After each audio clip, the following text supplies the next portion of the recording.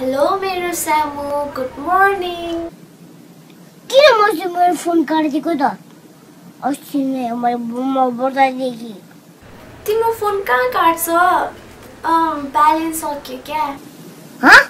Tower मैले गडबडी भयो जस्तो छ।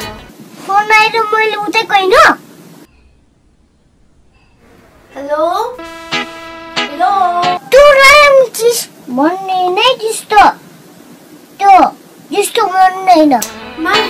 बोय के भयो कि? त्यो किन जान अगाडिको? तिम्रो फोनको टावर क्या? टावर मैले गडबडी भयो जस्तो छ।